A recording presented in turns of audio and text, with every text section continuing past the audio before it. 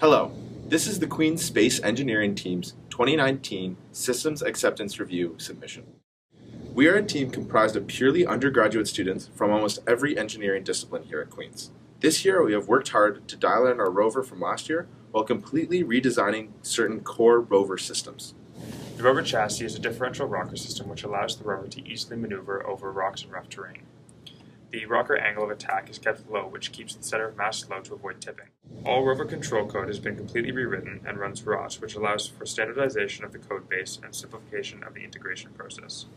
The ARM control code employs PID and inverse kinematics, which allows the ARM to track an X and Y, which is much more intuitive to use relative to joint-by-joint -joint control. The communication system uses a 2.4 GHz antenna, which gives adequate teleoperation distance with range up to a kilometer. The base station employs a custom front end which displays driver controls, GPS position, sensor status, and rover diagnostics. Driver sites use multiplexed PI cameras which allow for many camera feeds to be used at once. This helps with the driver's perspective as they interact with the competition field. The autonomous traversal algorithm uses a GPS and compass to drive the rover from one point to another. For obstacle avoidance, a LiDAR distance sensor measures 16 discrete distances spread over 45 degrees horizontally, which adjusts the distance heading accordingly. For the machine vision portion of the autonomous task, we built upon last year's work. We optimized the color-based detection algorithm, incorporating more detailed and robust detection criteria for determining the contour of a tennis ball.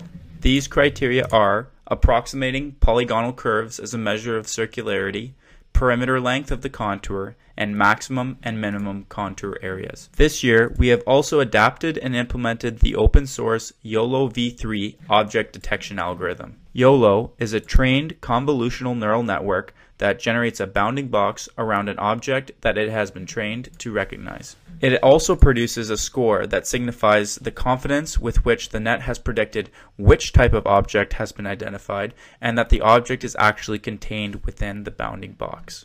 By combining the color and neural network detection algorithms, we have a dual confidence detection system capable of completing the task at URC.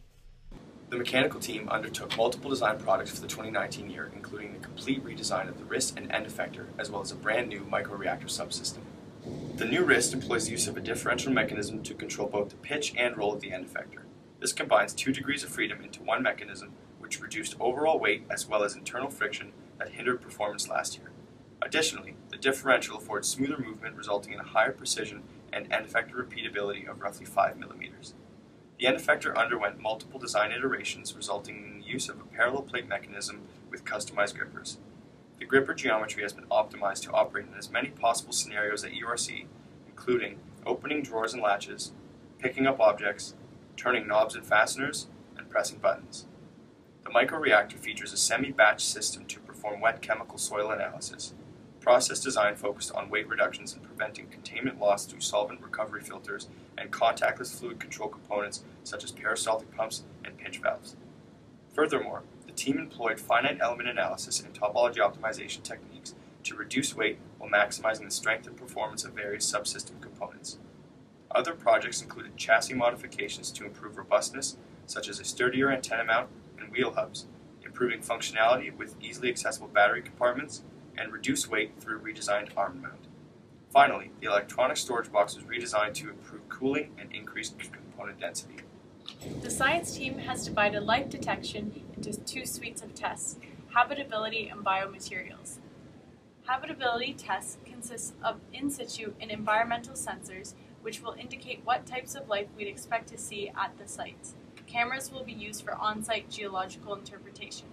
The team has designed a microreactor system for detection of biomaterials in soil. The microreactor was iteratively optimized, taking into consideration the electrical, mechanical, optical, and fluidic aspects to produce a compact, low mass, and completely sealed design. Soil will be diluted and mixed with a colorimetric indicator before entering a sample cell, where a UV vis spectrometer will be used to measure the concentration of analyte in solution. Tests for organic macromolecules will suggest extinct, extent, or no life. Combining the outcomes of habitability and biomaterial will allow the scientists on site to predict the extent of life at each site. Thank you for watching our video. We'd like to thank our sponsors, Vista, Kuya, Protocase, DigiKey, Thorlabs, SolidWorks, and Domino's Pizza. Thank you.